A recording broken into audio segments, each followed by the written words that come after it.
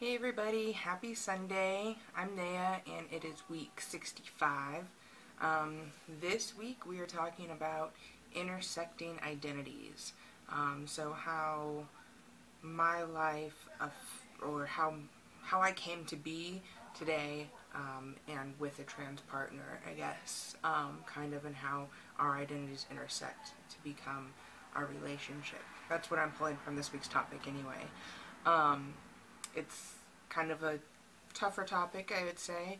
So I'm going to dig in a little bit. I'm I'm kind of just going to go back to how our paths crossed, and um, then I'll kind of talk about like how our path pasts um, kind of play into where we're how we became together and um, all that kind of stuff. So um, obviously, I, if you've watched some of my earlier videos, you know um, Taryn and I met a long time ago, um, over 10 years ago, actually like 13 years ago.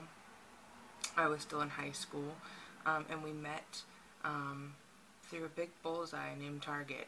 Um, he was already working there, and I started working there. Um, I was I was an M younger than Taryn, and so once our paths crossed at Target, um, and we really got to know one another. I, I feel there was almost an instant kind of connection between us, and we became fast friends. Um, we were together all the time. Um, me, Taryn, uh, one of my best friends, and then we had another friend that also worked at Target with us, and the four of us were pretty much inseparable. We were together all the time.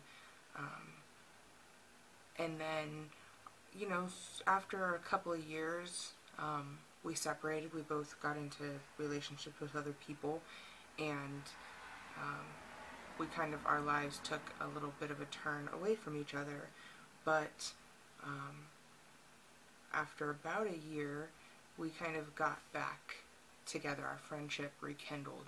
I was going through some really tough times with the relationship I was in at the time, as well as my mom being really sick and passing away.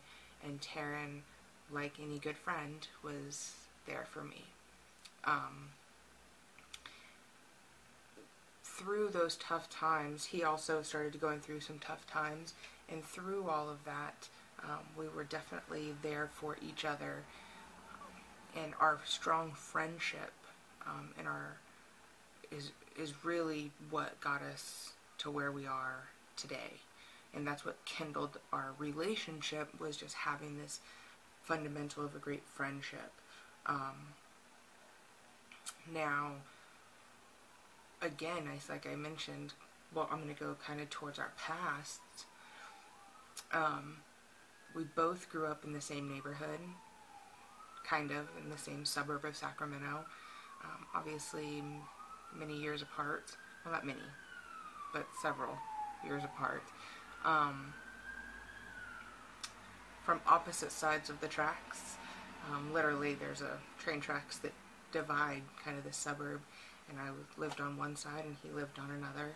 Um, but definitely never, our, our ages are enough apart that we never went to school together, had any mutual friends or anything like that. Um, but we lived in the same neighborhood basically both our lives. and it wasn't until we both were at Target that our paths crossed. Growing up, my mom, um, I grew up in a lesbian house. My mom and her partner raised me. Now they were not out of the closet. They definitely tried to hide it from me. Um, but they still taught me um, love and unconditional love, really. Um, so later in life, um, I think Taryn and I kind of bonded because even though, well, I grew up in a very open house, even though my mom was in the closet teaching love, and Taryn didn't necessarily have that. Um, he grew up in foster care and not his adoptive grandma was definitely an amazing woman but I don't know as though um, the gay community um, was necessarily very open, like she was open to, or anything like that. So Taryn grew up definitely struggling with any gay, queer, trans identity um, and really held that back. And um, I also did, even though my house was so much more open. Um, my mom came out to me when I was 17. I then came out at 19 as a lesbian. Um,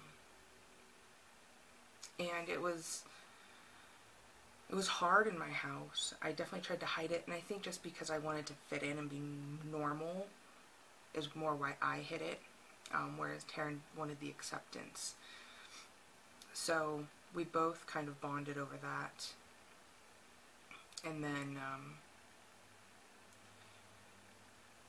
so I think our, our identities definitely crossed there, and as well as well as us living in the same neighborhood growing up. Um, so I mean, we had a lot of common bases. Um, when I was younger, I used to get misgendered a lot. I always used to get asked, "Are you a boy or a girl?" And I hated it. I hated it. I hated it. Um, I didn't.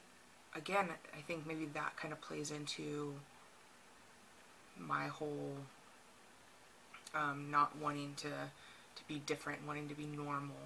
You know, I, that so me hiding my, my queer identity. So yeah, I feel like, wow, I'm just rambling and rambling and this isn't going to make any sense. I really hope it does. Um, so anyways, there's some of the ways our paths intersect. And so then, even though I thought I was getting into a relationship with a lesbian, when Taryn came out to me as being trans, um, I stayed open. It goes back to my base fundamental of being raised for unconditional love, and I fell in love with a person and not a gender.